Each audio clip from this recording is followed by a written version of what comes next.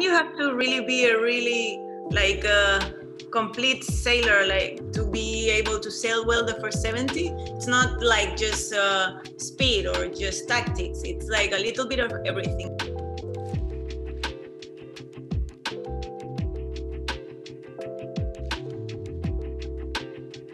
I'm Silvia Mas. Um, I'm Patricia Cantero. And we are sailing the 470 gonna represent spain in the olympic games. Where the olympics is gonna be in japan i think it's a perfect uh, place for sailing because japan is a well-rounded place which uh, as it's all kind of conditions the sailor that is more complete i think is is gonna win. It's gonna be a good test um, there is all kind of conditions because um, also the sometimes there is typhoons that are coming or passing and then uh, and I think like it's quite open everything also so it's there is a lot of kind of conditions depending on the direction of the yeah wind. depending on the day also sometimes the wind is uh, onshore or offshore so you get like more shifty or more Yeah. steady so you get like a shifty sailing or more like speed racing or yeah more wind uh, like uh, waves with the wind or flat so it's like really really like uh, if you're a more complete athlete in all the conditions that's gonna pay off for sure. Actually we have been uh, all these years that we have been competing over there uh, it's been the same uh, venue the same club and everything exactly the same. So it's just we're gonna gonna go again there for sure. Maybe they're gonna be some modifications just for make it to for the games but it's exactly the same. We know which the possible different areas courses uh, during the games are to be. So each year we've tried uh, to sail in each of the areas do like uh, training uh, we've been doing some races in all the different areas. And also the regattas we've done every year also they've been like changing areas.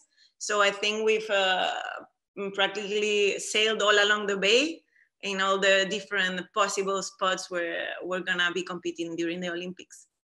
We're very lucky, I think, because the Spanish team we made a like an agreement with a little town there that's called Zushi, and we've been going to the same place every year, and they really treat us super well, and we feel at home with them because the people there are very like caring and uh, loving, so we really feel the warmth in there and uh, uh, we've been so much time there that uh, I, I think we really like it, both of us. Also, we love the food. Uh, so I could say that yes, we really feel at home there and comfortable. So we'll be good. We like to go to the little restaurants and uh, like very there are traditional. very traditional small restaurants in the little towns or, or there near Enoshima or Zushi.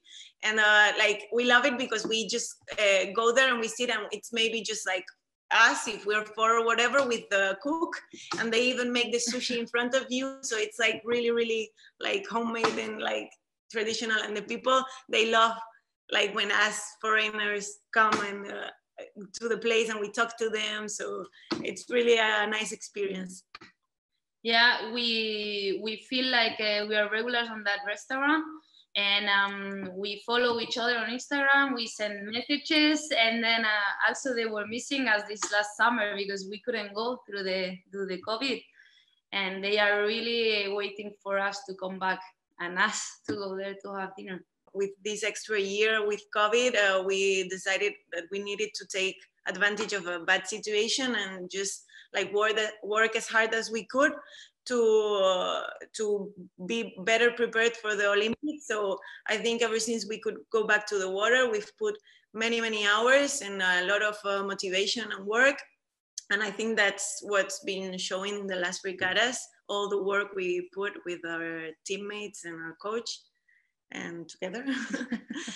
this last year that we have been training um, i think because we saw the opportunity of having one more year through to the covid and we know that for some teams maybe it must be more hard than other ones or they lose the motivation or not i think we the fact that taking it as an opportunity and say okay we go all in like just all all in and then um, putting a lot of of effort and trying to to be very dynamic on the water and uh, very like uh, you know now it's with the pumping a lot and then putting a lot of uh, of effort, like strength in, in the boat, I think this is something that really makes a bit of, of difference. Maybe that's why also we we are trying to well or going more consistent really to be able to get a medal i think it's about uh, being uh, consistent and but also like consistent in the water but also getting there to the racing like calm and uh, knowing that you've done all the work already that you had to do these past four years and uh, being uh, confident that we're well prepared and uh, just give it our, our all and try to work as hard as ever and uh, i think uh, that will like everything will just follow. If you work really hard and you're confident uh, you will manage to be consistent and that will give you the medal